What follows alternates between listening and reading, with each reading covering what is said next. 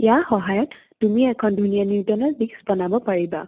ইয়াৰ বাবে তোমাক লাগিব এখন পুৰণি চিডি মাৰ্বল গ্লু কাৰ্ড আৰু স্কেচ পেন এখন গোলাকাৰ কাৰ্ড লোৱা আৰু তাৰ মাজত এটা ফুটা কৰা।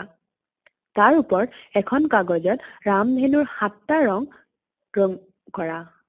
সাতটা ৰং যেতিয়া একেলগে মিলিব তেতিয়া ই দেখিবলৈ বগা ৰং হৈ যাব। এতিয়া পুৰণি চিডিখন লোৱা।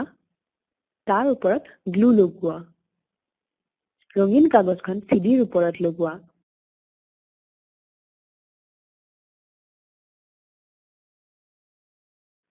এতিয়া সৰু ফুটাটোত ৰাবাৰ গ্লু লগোৱা।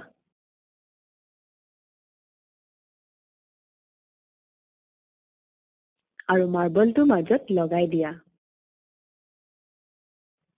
আকৌ অলপ বেছি গ্লু লগাই দিয়া আৰু শুকাবলৈ দিয়া। চিডিখন ঘূৰাব পৰা হৈ গৈছে। মাৰ্বলটো ধৰি চিডিখন এখন ঘৰ্ষণমুক্ত ঠাইত ঘূৰাই দিয়া। বহু দেৰিলৈ চিডিখন ঘূৰি থাকিব। সাতোটা ৰং মিলি বগা হৈ পৰিব। ইয়াৰ লগত বহু বস্তু জড়িত হৈ আছে যেনে মাধ্যাকৰ্ষণৰ কেন্দ্ৰবিন্দু আৰু মুমেণ্ট অফ ইনাৰ্চিয়া